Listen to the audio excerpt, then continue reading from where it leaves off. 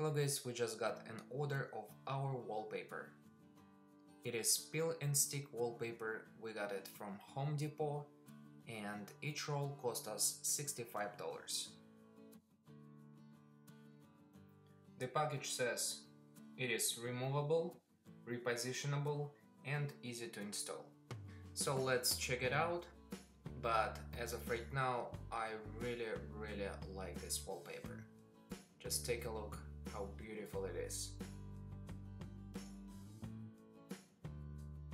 So here are all of the tools that I'm gonna be using today.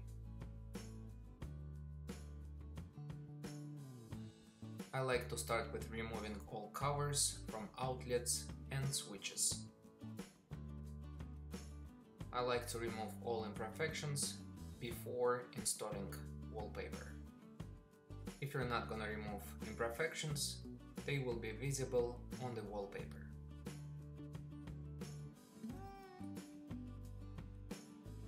Measure the width of your wallpaper. My wallpaper is around 27 inches. So I have some space behind the cabinet and I wanna put about 1 inch behind it. So I marked 26 inches and now using a level draw a straight vertical line. This line is a guide for our first strip. Measure the length.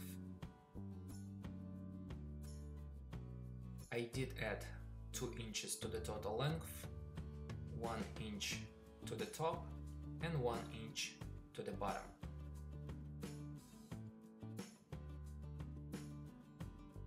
Before installing the first strip, I like to fit it in the place where I'm gonna be installing it and make sure that I did measure and cut everything correctly. Peel about 10 to 12 inches of the backing away from the paper.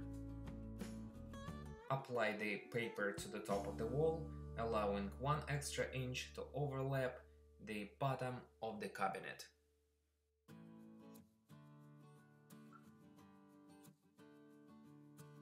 I'm using smoothing tool to push wallpaper behind the cabinets.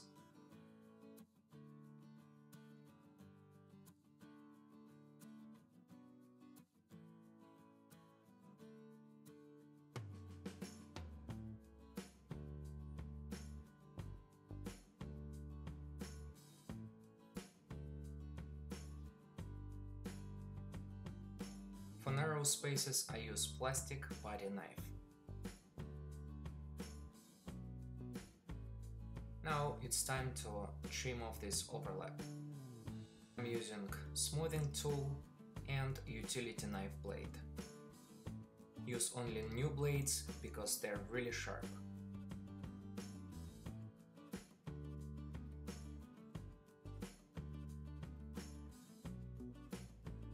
we need to find a matching piece for our second strip.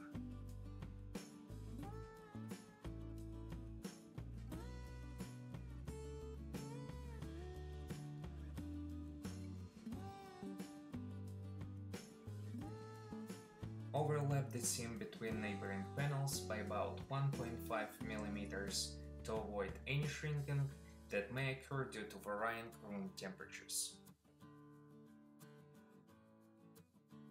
Turn off electricity when you're trimming around outlets and switches.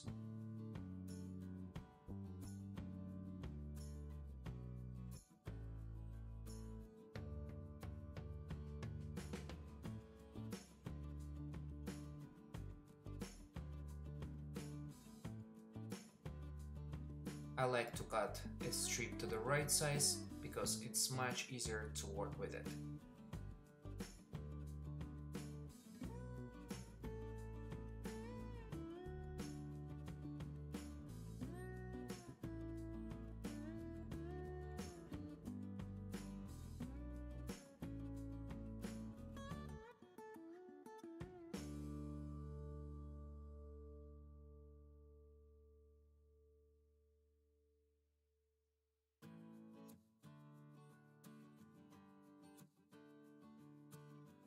Now I need to install a wallpaper on a new wall.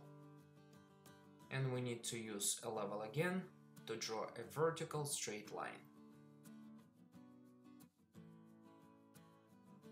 Working from the top to the bottom, pull the backing away from the paper as you evenly press the paper to the wall.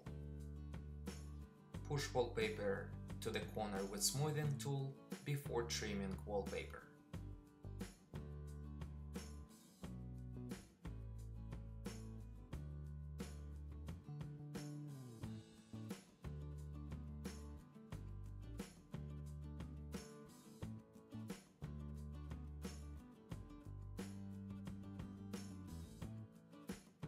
Just notice a frog upside down. And I thought I need to redo all wallpaper that I've done. The mole looks like in right position. The ladybug also in the right position but all of the frogs as you can see just upside down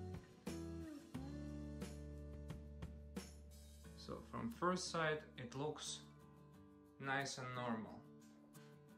The flower, the biggest flower, is fine, mole is fine, ladybug is fine. We live in Florida and uh, we actually see those frogs in this position, upside down position. So this is how it looks.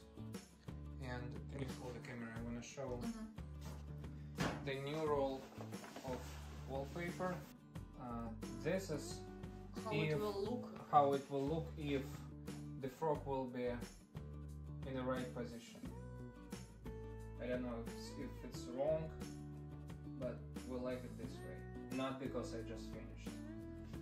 Almost the second roll, but it does make sense. This is the butterfly. And this is how I remove bubbles. You just push them to the side you can do it with your hand or use a smoothing tool.